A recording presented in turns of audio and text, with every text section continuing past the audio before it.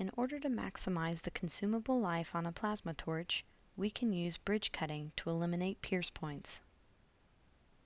In this example, we compare the cutting time piercing each part with the cutting time for a continuously cut nesting.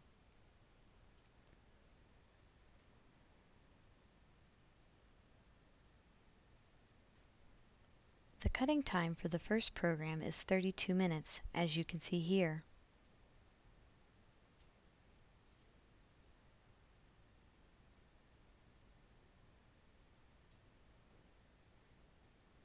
Now, redoing the toolpath, we select the Auto Bridge by Zone function.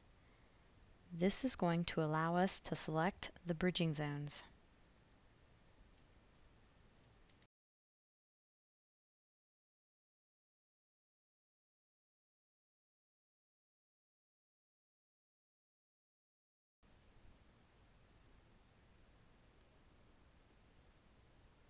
The resulting program cuts columns of parts out with one pierce per column.